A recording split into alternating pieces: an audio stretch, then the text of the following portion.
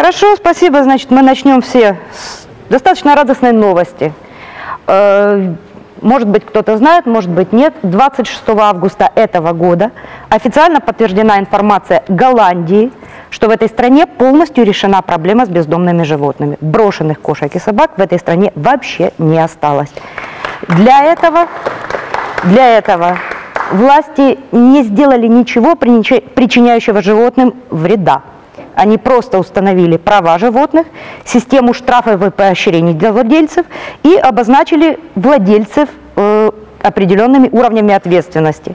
Также полностью население было обязано на поголовную стерилизацию для животных, не представляющих племенной ценности. То есть опыт этой страны сейчас показывает, что гуманное решение проблемы безнадзорных животных не миф, а абсолютная реальность. Мы сейчас попробуем разобраться, как это работает, что для этого необходимо сделать. Пожалуйста, далее. Для начала мы попробуем определиться с терминологией. Под животными в данной лекции мы будем понимать кошек и собак. Это, конечно, не значит, что остальные звери, там козы, коровы, попугайчики, черепашки бездомными не бывают. Они бывают. Но пока у нас по улицам не ходят табуны бездомных лошадей, проблемой мы это назвать ну, не можем. Далее мне хотелось бы несколько разграничить термины безнадзорный и бездомный.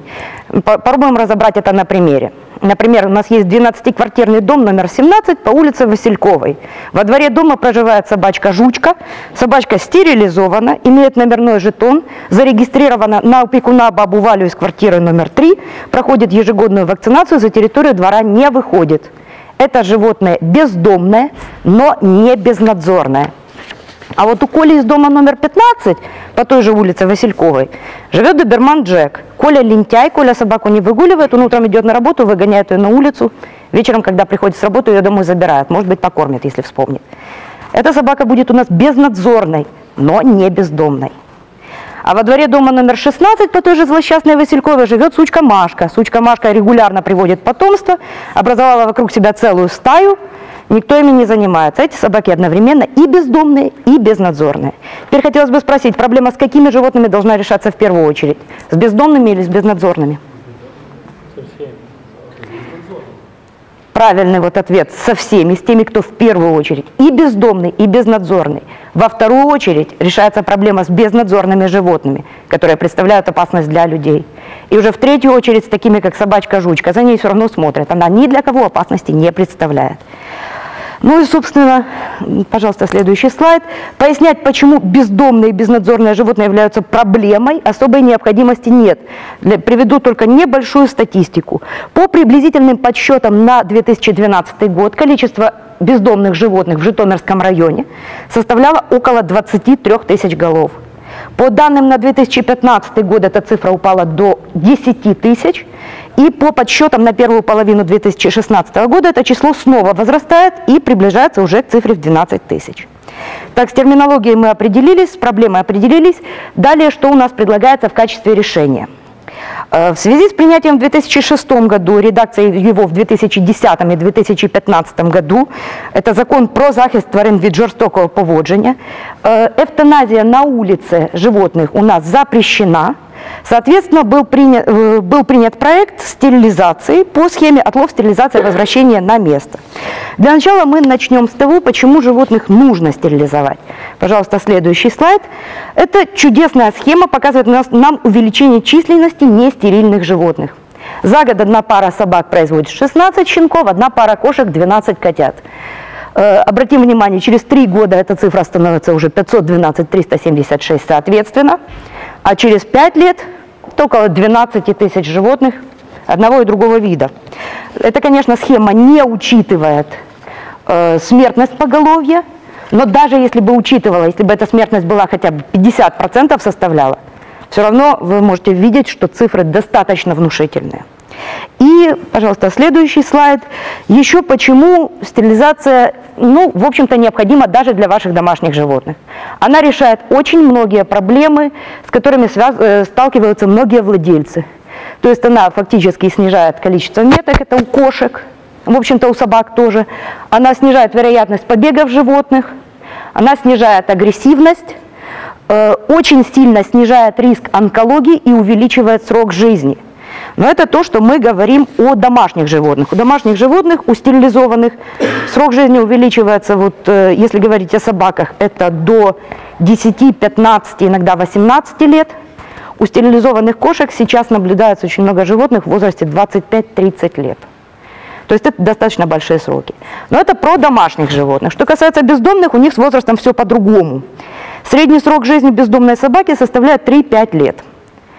Срок жизни бездомной кошки, ну, 4-7. Связано с многими опасностями, которые встречаются на улице. Ну, то есть стерильное животное потомство не дает, соответственно, через 5-7 лет, теоретически, когда программа действует, у нас животных должно было бы уже внезапно не остаться. Программа стерилизации действует в нашей стране с 2011 года, то есть 5 лет уже прошло. Видели цифры по количеству подсчета по Житомирской области. Э, собственно, количество у нас не уменьшилось. Почему не уменьшилось? Все очень просто. Это приток животных извне, соответственно, из квартир. Это животные, которых выбрасывают владельцы. Многие, вот, э, наверное, часто сталкивались с ситуацией. У нас такая красивая собачка, надо, чтобы она щенков родила для здоровья мы ее один раз повяжем, она нам щенков родит, мы их потом все продадим. Вот собачку эту повязали, родила она 8 щенков, хозяин их кинулся продавать, они никому и даром не нужны. Два месяца щенкам, три месяца щенкам, 8 штук их дома сидит, от квартиры не осталось ничего. Что у нас обычно владелец в таком случае говорит? А, в селі треба, я их в село вывезу, там оставлю, там кто-то забере. Вот владелец вывез один коробку, второй вывес, третий вывес, четвертый вывес. И в результате мы имеем на улице ну, добрых два десятка новых нестерилизованных животных. С 6-7 месяцев эти животные способны давать потомство. И способны давать потомство 3-4, иногда до 5 раз в год. Цифру, график с увеличением количества животных от одной пары мы уже, собственно, видели. Что, собственно, вот мы можем сделать, почему этот поток бесконечен? Потому что владельцы у нас не ограничены никакой правовой базой, нигде не зарегистрированы и ни перед кем не несут ответственности. То есть что нас приводит к следующему пункту, э, пожалуйста, далее, это законодательная база. Законодательная база Украины у нас сейчас по бездомным животным состоит из всего двух документов. Это закон Украины про захист тварин від жорстокого поводження и правила содержания домашних животных. Эти правила принимаются каждый, практически каждых несколько лет в каждом городе отдельно. Они не слишком отличаются одни от, э, одни от других, они принимаются на основе все этого же первого закона. Вот в Житомире эти правила были приняты 1 июня, новые. И как человек, который в эти правила посмотрел, я вам скажу, что они просто абсурдны. Это не правила содержания животных, это правила против содержания животных. Ну вот приведу достаточно смешной пример. Это список потенциально опасных пород, который включен в эти правила. В списке содержится, я специально зачитаю с листочка, овчарка Кауфмана, доберман Влады Корощицы, кенгуровая собака, леопардовая собака и супердог и его помесь с майконгом. И если еще что-то можно говорить о кенгуровой и леопардовой собаке, это аборигенные дикие породы.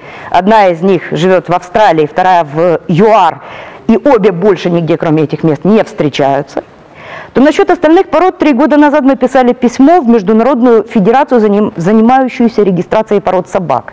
Так вот, глава федерации об этих породах ничего не знает. Он сказал, спасибо за список, когда в следующий раз к нам будут подавать какие-то новые виды, мы будем знать, откуда название выбирать. То есть это просто несуществующие породы, которые придумал кто-то, кто составлял эти правила. Итак, что Пожалуйста, а дальше что же мы должны сделать, чтобы правила заработали и вообще, в принципе, э, что-то у нас вообще как бы заработало?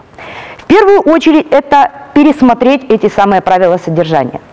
К э, правилам содержания, к их разработке должны быть обязательно подключены ветеринарные специалисты. Это не чиновники от ветеринарии, это должны быть действительно врачи, которые понимают какие-то определенные проблемы. Обязательно за технологи, кинологи, занимающиеся собаками, филинологи, занимающиеся кошками, и этологи. Это люди, которые занимаются социологией групп, социологией человека плюс социологией животного. Далее, по правилам содержания у нас должны быть площадки для выгула животных. У нас в Житомире есть две, обе размером метр на метр. Всего две на город. Э, площадки эти должны быть организованы в достаточном количестве, хотя бы одна на несколько кварталов, и обязательно оборудованы хоть какими-нибудь урнами. Потому что банально владельцы должны быть, да, обязаны убирать за своими животными. Сейчас это просто физически нельзя сделать, потому что до ближайшей урны идти километр. Ну, лично на себе проверяла, пять кварталов я шла, ни одной урны не увидела. Я могу убрать за своими собаками, к сожалению, мне просто некуда убранное деть. Далее, что кроме площадок для выгула должно быть? Обязательно должна быть удобная и обязательно бесплатная регистрация животных. Сейчас данные вот правила, которые э, предусматривают содержание, они говорят о том, что регистрировать, регистрироваться животные должны за счет чипирования, а чипирование проводится только за счет владельца. Стоимость установки чипа около 300 гривен. Производится она только в двух ветеринарных клиниках в городе Житомире. Кроме того, э, номер этого чипа надо зарегистрировать в базе. Регистрация дополнительная номера чипа стоит еще 300 гривен. Устройств для считывания в нашем городе имеется всего два в тех же клиниках, которые чипируют. То есть зачем мы идентифицируем животных, программа 4 лапы, которая стерилизует, она тоже ставит чипы. Только прочитать эти чипы нельзя нигде. Что нужно сделать? Устройства для считывания чипов должны быть обязательно в любом ветеринарном учреждении. И плюс обязательно должны быть в полиции. То есть если попалось на улице бездомное животное, бездомное, безнадзорное, Значит, должна быть возможность читать его регистрационный номер и найти владельца, и выяснить, выкинул или потерял. Если потерял, вернуть.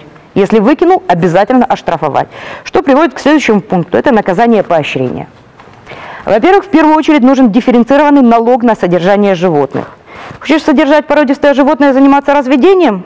Пожалуйста, заплати огромную сумму, купи лицензию на разведение и обязательно пройди курсы зоотехнические. Потому что иначе у тебя получится какая-то странная вещь. Лицензию без курсов не выдавать. За разведение без лицензии штрафовать. Сразу приток уменьшится, ну, как минимум вдвое. Далее, э, хочешь просто содержать породистое животное, пожалуйста, стерилизуй это животное, получи уменьшение налога. Э, хочешь взять беспородное животное, получи минимальный налог. Если ты пришел в приют и взял животное инвалида, старичка на доживание, животное с проблемами – не плати налог за животное.